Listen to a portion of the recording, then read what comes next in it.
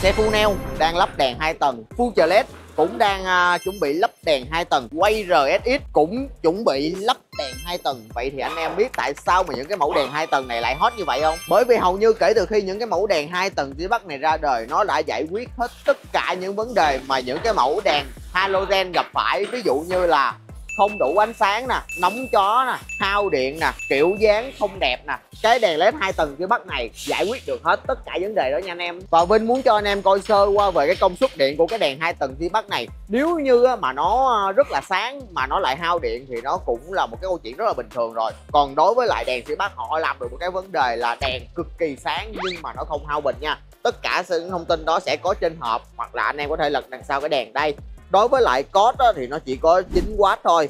Và pha sẽ là 15W còn cái dãy đèn đề mi định vị thì nó chỉ có một cái watt điện thôi. Tính ra cái thông số này thì nó cũng không khác biệt gì so với lại zin quá nhiều. Nhưng mà đèn này nó sẽ sáng hơn đối với đèn định vị thì anh em có thể sẽ lựa chọn được nhiều màu.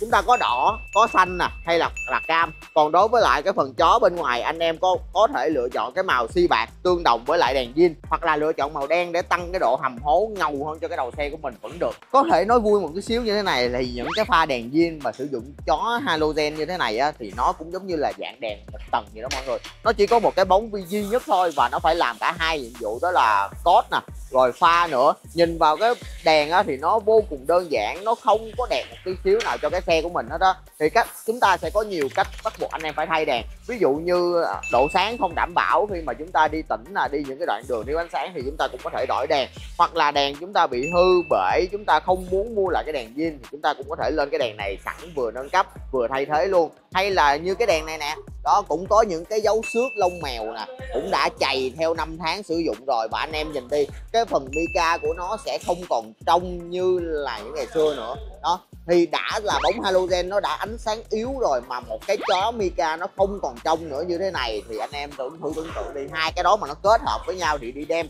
Còn gì gọi là đèn để thấy đường chạy xe nữa? Thôi nâng cấp đèn để hiệu quả chiếu sáng được tốt hơn thì an toàn hơn cho bản thân mình chứ an toàn cho ai vậy thì giờ anh em chờ xíu nha, chúng ta sẽ đến với cái công đoạn ráp đèn rồi, sau đó anh em sẽ thấy được cái cực phẩm này lên xe nó sẽ hoàn hảo. Như thế nào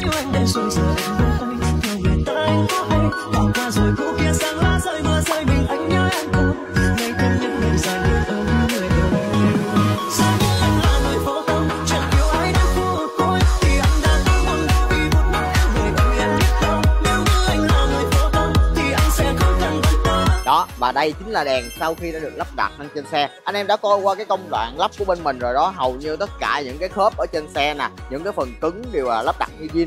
Đèn lên xe là cũng vô cùng liền mí đối với lại cái phần dàn áo nha. Nói chung gom gọn là một câu thôi là nó không khác gì so với lại đèn zin hết. Chỉ khác một điều là đẹp hơn, sáng hơn, tiết kiệm điện hơn và không bị nóng chó bây giờ mình cho anh em xem là cái xịn nhất của cái đèn này khi mà vừa mới bật phá lên trời, đã dữ chưa? Nó sẽ có thêm một cái dãy đèn đề mi định vị ở ngay cái vị trí này. Nó vừa làm đẹp cho cái xe, mà khi mà anh em đi ban ngày á, thì các bạn có thể thấy là, kiểu giống như là nó sẽ là thêm một cái đèn để cho người khác có thể nhận thấy được cái xe của mình.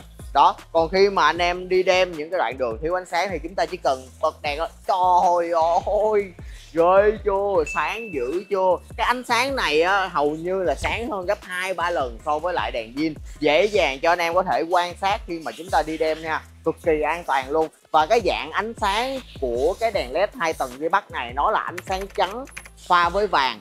Vì vậy mà nó vô cùng bám đường và nó không có bị chói mắt người chạy đối diện nha. Đảm bảo văn minh cho chúng ta khi mà tham gia lưu thông, nhưng mà vẫn cực kỳ sáng để các bạn có thể thấy được được đèn lên xe quá đẹp, quá đã luôn. Đó, thì với những cái ưu điểm vàng nổi bật mà Vinh đã gạch đầu dòng, gạch đầu dòng kể ra cho anh em từ nãy tới giờ, thì cái mẫu đèn hai tầng đi bắc này cực kỳ xứng đáng cho anh em lên xe đó, bởi vậy mà đầu clip anh em thấy bên mình tháng giờ là tiếp hầu như là ba, bốn xe đều vô là ráp đèn hai tầng di bắc cho xe của mình hết. Với cái mẫu đèn hai tầng di bắc dành cho quay RX này, chúng ta sẽ có giá là 1 triệu 120k kèm với lại chế độ bảo hành là 12 tháng một đổi một về lỗi của sản phẩm nha. Rồi mở lên cái nữa cho anh em coi nè. Đó giờ tắt đèn để cái đề mi này thôi chạy ban ngày nó cũng đẹp nữa mọi người chiều chiều nữa. À, chiều chiều xíu mở đèn lên chạy là nhìn cái xe quay RSX của mình nó khác biệt hơn với lại những anh em đi RSX khác liền.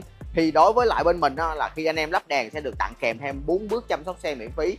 Trong đó sẽ bao gồm vệ sinh kính hậu nè mặt đồng hồ nè tăng thắng tăng sơn tăng côn và bơm bánh xe. Bởi vì sếp mình chia sẻ không quan trọng hóa đơn của anh em là bao nhiêu tiền quan trọng là phục vụ anh em cảm thấy hài lòng. Anh em thường xuyên quay trở lại ủng hộ số hai bánh là bên mình đã cảm thấy vui đúng rồi.